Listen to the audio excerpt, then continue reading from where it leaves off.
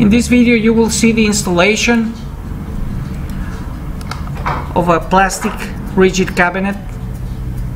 They have no water absorption, no growth of mold, mildew, termites. It has no lead, which is it is non-toxic. Here will you uh, you see two uh, screws provided with uh, with your cabinet. They are inserted into two pre-drilled holes in the, at the back of the cabinet.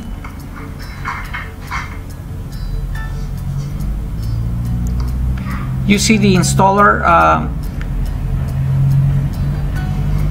you see there's a, there's a gap. As you see, as you can see, you can you can move the it is uh, you can move the the uh, the cabinet sideways. Once the gap is already aligned between the the false drawer and the and the and the door, you will mark uh, with the hammer the, the the hole you know the the screws with the hammer. Then you will mark where the cabinet was placed.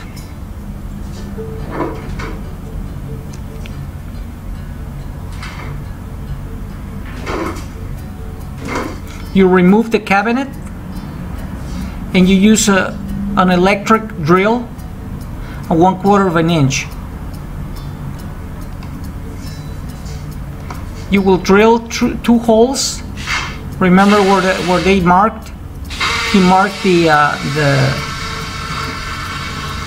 where the two holes will you know the two marks. Now he's making the two uh, holes in the in the uh, in the wall. As I was saying, this cabinet is durable, lightweight, hygienic, uh, and resistant. It is fire retardant and needs almost no care, which is almost uh, free maintenance. It is compatible with uh, house cleaning products. Uh, it doesn't swell up or cap, uh, keep uh, bad odors.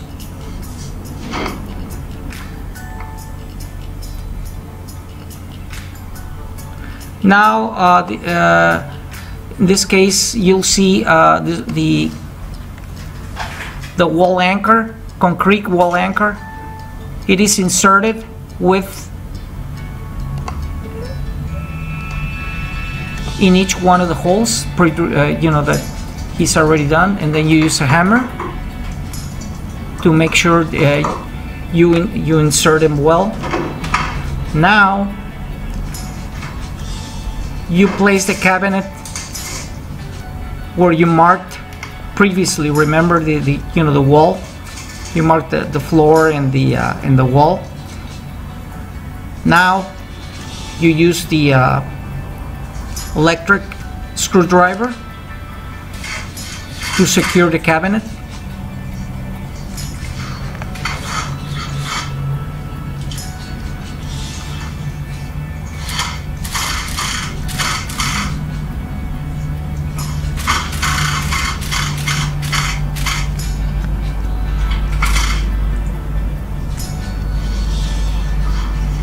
As you can see, um, the cabinet is aligned. Remember, the false drawer and the door are, was aligned at the beginning, moving the, the moving the, the cabinet sideways. Um, now you have the handle, which is was pre-installed at the back of the cabinet. Now remove the two screws, and then put him in front.